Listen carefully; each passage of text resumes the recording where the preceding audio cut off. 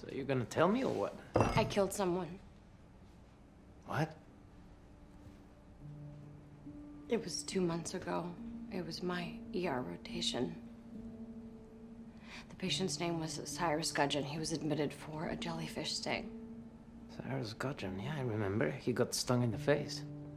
Died of shock, right? No, he died because of a mistake that I made. I gave him Epi and Benadryl. But those two drugs don't cross-react. He had metoprolol in his system. He basically suffocated to death. I- I'd been on duty for like 36 hours, and I must have screwed up and forgotten to ask him if he was taking any medications. He would be alive right now if it wasn't for my mistake. Why are you telling me this? Because I saw him. Cyrus, I saw him in my flatline, and it must mean something, right? Hey, mistakes happen to everybody. Yeah, but I, I work so hard every single day. I do, I do the right thing. I'm sure you do. I'm not a bad person. No, you're not. I'm not a bad person. I, Everything's gonna be fine, Marlo. no, I'm scared. I'm scared.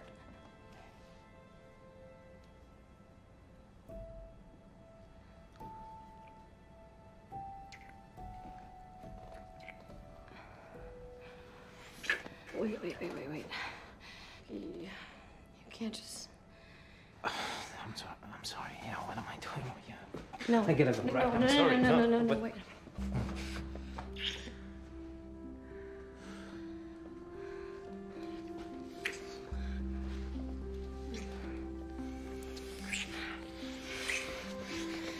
Oh, Damn,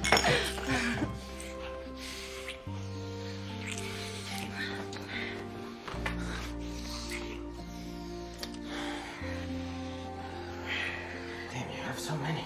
Just. Okay, okay, okay.